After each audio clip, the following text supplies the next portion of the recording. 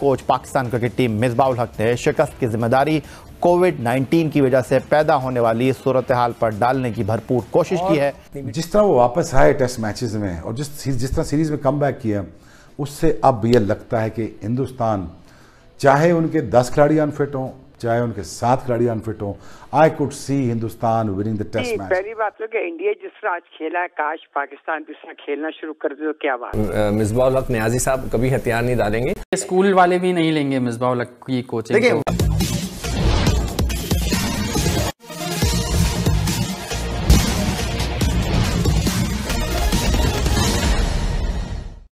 अभी आपने सुना, भारत से हमेशा क्रिकेट के मैदान पर भी बराबरी का ख्वाब देखने वाले पाकिस्तानी लोग कैसे खुलकर भारतीय क्रिकेट टीम की प्रशंसा ऑस्ट्रेलिया में किए जा रहे शानदार प्रदर्शन के कारण कर रहे हैं और अपने देश के खिलाड़ियों को भला बुरा न्यूजीलैंड के खिलाफ शर्मनाक प्रदर्शन के कारण कह रहे हैं।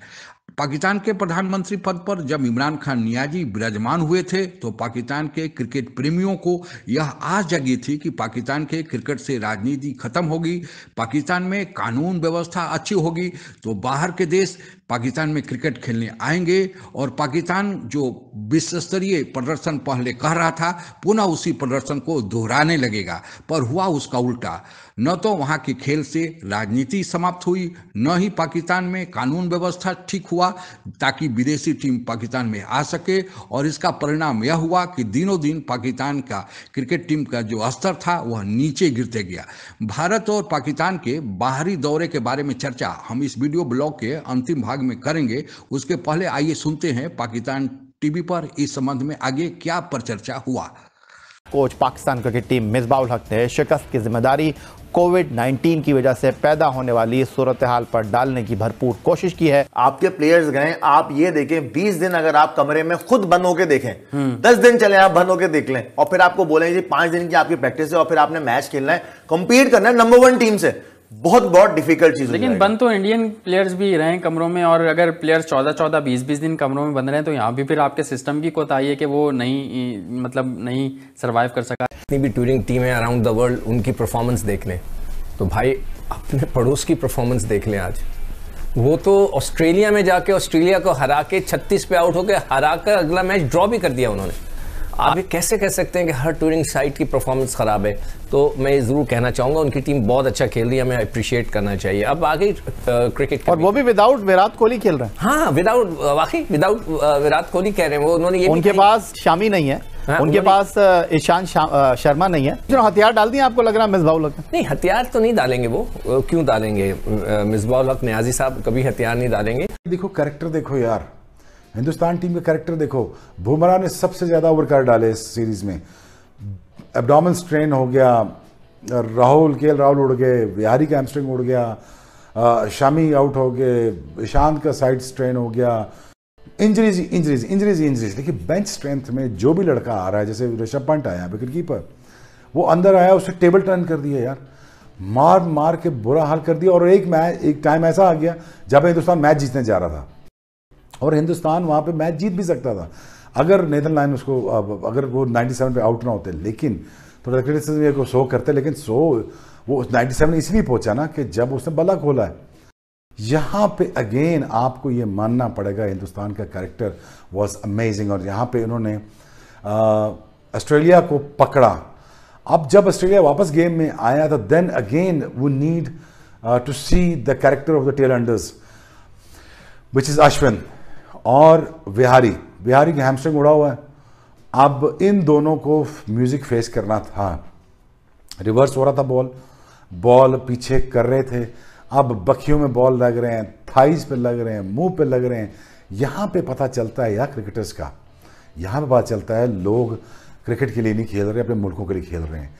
जब वो जिस जिस जिस टेस्ट जिस तरह टेस्ट मैच में से, बुरा टेस्ट मैच खेलते हुए टेस्ट मैच में आगे आए, छत्तीस पे ऑल आउट होकर वापस टेस्ट मैच में आए और जीते Ajinkya Rahane against look superb और जिस तरह वो वापस आए टेस्ट मैचेस में, और जिस जिस तरह सीरीज़ में कम बैक किया, उससे अब यह लगता है कि हिंदुस्तान, चाहे उनके दस खिलाड़ी अनफिट हों, चाहे उनके सात खिलाड़ी अनफिट हों I could see Hindustan winning the test match और सबके तकरीबन यही तो अल्फाज कह थे। कि स्कूल वाले भी नहीं लेंगे की कोचिंग देखिए वो एक डिफरेंट वो अब उन्होंने वो किस वे में की है वो एक अलग बात है। हमने तो ये भी सुना है कि लड़कों अपने हमारे एक्स क्रिकेटर्स ने बोला है कि जी क्लब क्रिकेट की भी टीम नहीं है ये। क्लब क्रिकेट को भेजने शायद क्लब अच्छा कर जाए ये हमारी टीम नहीं कर पाएगी। देखिए इतनी जल्दी दिर बर्दाश्ता होकर अगर हम ये बात करते हैं। तो ये भी एक गलत चीज़ है। जी पहली बात तो कि इंडिया जिस तरह आज खेला है काश पाकिस्तान भी तरह खेलना शुरू कर दे तो क्या बात है? मेरे ख्याल में माजी में ऐसा कभी हुआ नहीं है। आप होम सीरीज़ पे अगेंस्ट बांग्लादेश अगेंस्ट श्रीलंका आपने जी बॉलिंग कर ली जी वाह वाह जी हो गया हमारे पास फाइंड आउट हो गया। ऑस्ट्रेलिया गए आपने क्या किया? आप इंग्लैंड गए आपने क्या किया? आप न्यूजीलैंड गए आपने क्या किया? ये तीन आपके कंट्रीज़ ऐसी होती हैं जो ड्रीम होता है फास्ट बॉलर का क्या हमारा हमें वहाँ टूर मिल जाए हमें वहाँ परफॉर्म करने को मिल जाए क्योंकि वो पिचेस साजगार हैं आपके पेस अटैक्स के आपके जो फास्ट बॉलर्स के लिए। हमारे फास्ट बॉलर तो ऐसे लग रहा था कि दूसरे टेस्ट मैच की मैं बताऊँ सॉरी टू से कि ऐसा लग रहा था कि जैसे कि जी आइए बॉल कीजिए ऐसे नेट पे हम बॉलिंग नहीं करते बच्चों को ले जाके। आप वो ऐसा लग रहा था कि वो बॉलिंग जैसा कि आप लोगों को ज्ञात ही होगा कि वर्तमान में भारतीय क्रिकेट टीम ऑस्ट्रेलिया के दौरे पर है।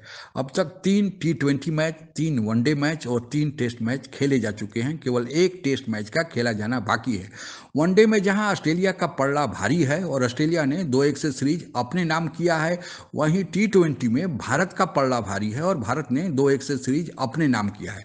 टेस्ट मैच का जहाँ तक सवाल है, अभी तक जो तीन टेस्ट मैच हुए हैं, दोनों पक्ष बराबरी पर हैं, जो चौथा टेस्ट मैच होने वाला है, वह निर्णायक साबित हो सकता है। आपको यह बताते चलें कि ये जो टेस्ट मैच खेले गए यह विराट कोहली के अनुपस्थिति में खेले गए और इसके बावजूद भी भारतीय टीम का प्रदर्शन अच्छा रहा है।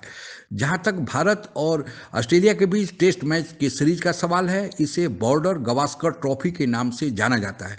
ये दोनों खिलाड़ी भारत और ऑस्ट्रेलिया के अपने समय के दिग्गज खिलाड़ी रहे हैं और इन्होंने अपने इंडिविजुअल स्कोर में दस हज़ार से ज़्यादा टेस्ट रन बनाए हैं। इस ट्रॉफी की शुरुआत इसके कारण उन्नीस सौ छियानवे में हुई। उन्नीस सौ सैंतालीस से लेकर वर्तमान 1920-21 की टेस्ट मैच के तीसरे मैच तक भारत ने ऑस्ट्रेलिया के खिलाफ कुल 29 मैच ही जीत पाया है और 43 में भारत को हार का सामना करना पड़ा है।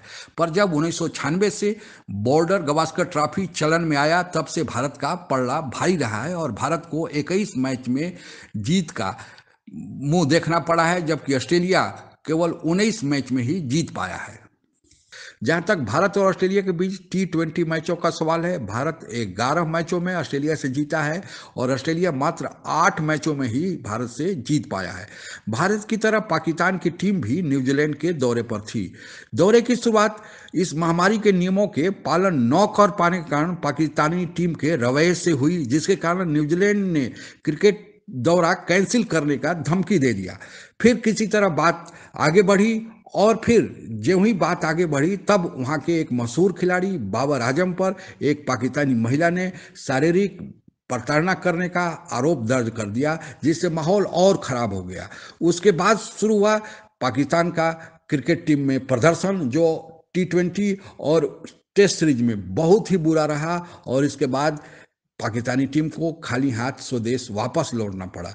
दरअसल पाकिस्तानी टीम में राजनीति तो है ही। मनमाने क्रिकेट खिलाड़ी अपने स्वार्थ के आधार पर चयनकर्ताओं द्वारा चुने जाते हैं, लेकिन उसे भी खराब जो पाकिस्तानी क्रिकेट टीम की स्थिति है, उसका कारण वहाँ की बिगड़ती कानून व्यवस्था है, जिसके कारण विदेश के देश वहाँ पर खेलने नहीं जाते हैं और विदेश के टीम अगर खेलने नहीं जाएगी तो क्रिकेट कैलेंडर का आधा मैच तो पाकिस्तान स्वतः गंवा देता है। आधे मैचों में वह किसी तरह बाहर जाकर अपने क्रिकेट कैलेंडर को पूरा करता है, लेकिन वह पूरी तरह से उसको खेलने का अवसर नहीं मिल पाता है। एक बार पाकिस्तान में श्रीलंका की टीम खेलने गई थी, लेकिन वहाँ पर उनकी गोलाबारी का सामना करना पड़ा, जिसके चलते अब विदेश की कोई भी टीम वहाँ जाने से हिचकती है।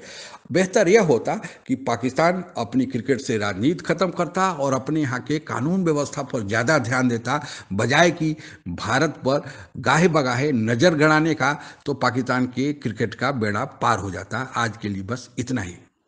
आप अगर हमसे जुड़ा रहना चाहते हैं तो कृपया मेरे चैनल को सब्सक्राइब करें तथा बेल आइकन भी दबा दें ताकि नई वीडियो की जानकारी तुरंत आप तक पहुँच जाए। धन्यवाद। जय हिंद।